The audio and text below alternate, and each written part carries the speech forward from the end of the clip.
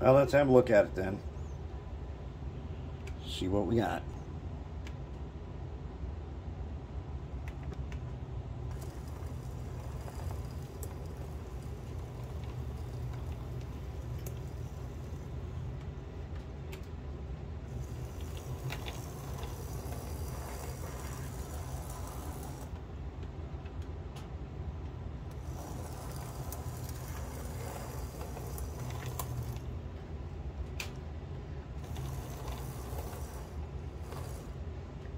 Can go pretty slow.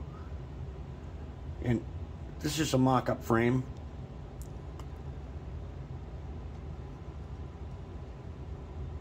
Got a few things got to work out a little bit. One, I need more worm gears. I wish they'd get here quicker. But we're going to do what's what we got right now.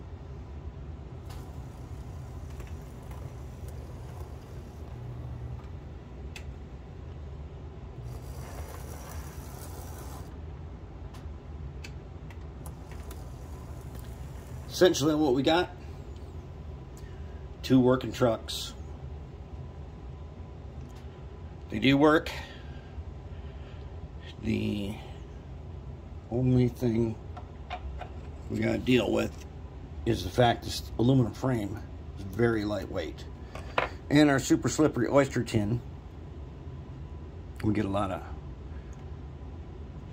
right now it, it um, tends to be a little wobbly. Now we'll figure out something to do about that. I figure once we put, if we were to put a shell on this with some weight in it, and we got some room around here, we can put some weight in. Plus, you know, no fuel tank weight. We'd have something.